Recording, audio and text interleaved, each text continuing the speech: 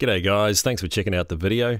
This is a little tip on Radiologik DJ, a very, very powerful program that you can get for very cheap.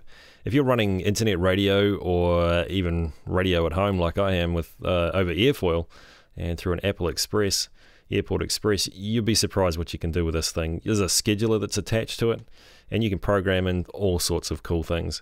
Backsell, pre-selling songs. In this case, this video is about the time announced time stub and there's a couple of important things that you've got to do to make sure that happens. So in this case, um, what we've got here, as you can see there's a time stub set for 8.43, and we're a couple of minutes away from that at the end of this song.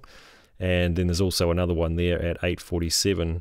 Now, the one at 8.47 I know is not recorded, so it will play through, but there's going to be nothing on it. So at this point, we actually need to attach a file to that.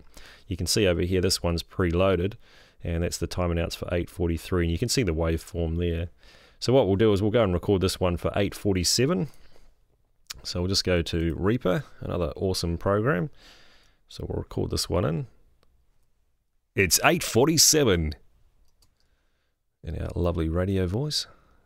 So we'll just highlight the bit that we want here in Reaper and you might have another um, digital audio workstation or something there that you can use to record these in now in this case, where because we're doing the 8 o'clock hour, we have to call it 0847. Kind of self-explanatory really. And just got to make sure that goes into the Radiologik time announce folder. So that way Radiologik knows where to draw it from. Now I'm using mono because I can save hardware and real estate space basically. Uh, your, your default may actually be stereo, but that's okay either way.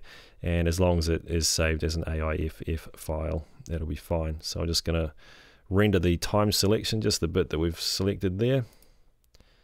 And that's done.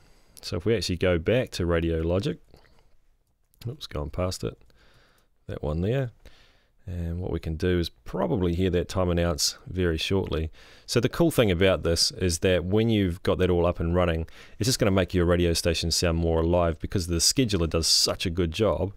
And what it does is that it um, it actually picks out the time announce and schedules it right in to the anywhere within that minute and you'll actually hear it. So here it comes here.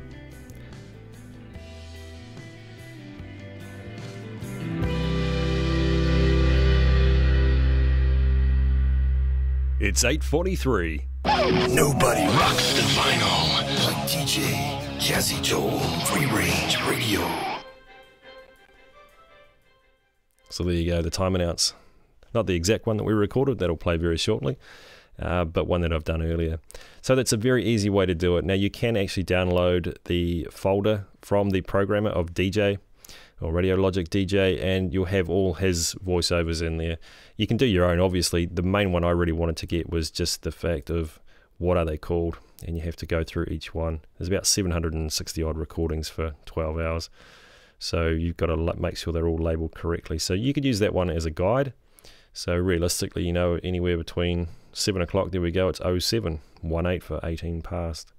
So you just do that. You do a whole lot of these recordings. So uh, I'm doing it just a little bit at a time, just so that we can, you know, get something happening. Um, especially when the kids are listening and they got an idea of what time it is and what time's bedtime, right?